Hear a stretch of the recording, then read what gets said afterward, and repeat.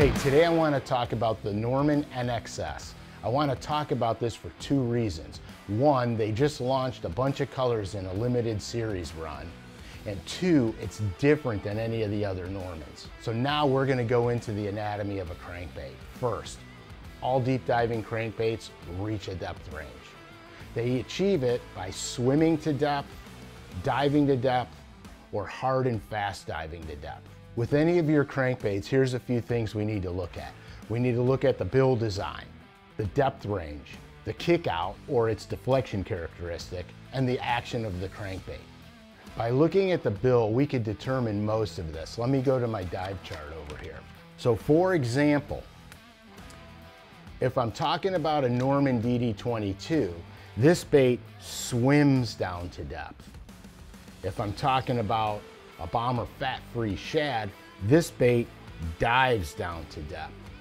But if you look at the NXS and its bill design, how it has the little hook in the bill, this bait is a hard, fast diver. It gets right down to business. Let me talk about some of the places and why I like to fish the NXS. Since the NXS is a hard, fast diver, you don't need a monster cast to get it down to depth. So one of the things I like to fish with it are small isolated rock piles because I can be very accurate with a short cast and hit the rock pile. Now, let's talk about the kick out on this bait or the deflection characteristic. So as I drive this bait down into the rock pile, the NXS has a small kick out which means when I hit the rock and it deflects off the rock, it immediately corrects itself because the bill's a hard diving bill. So it's not gonna go way out around the rock pile. It's literally gonna kick off the rock, deflect, smash back into the rock, small deflection, smack back into the rock, and go on its way.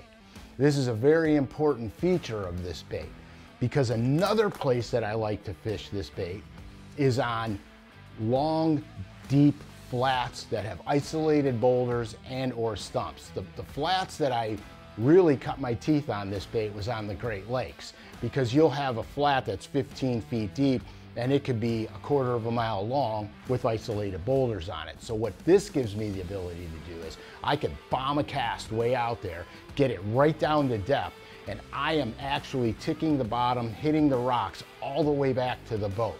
There's no wasted cast on that. The next place I like to fish this bait is on river ledges. But here, I'll do something different.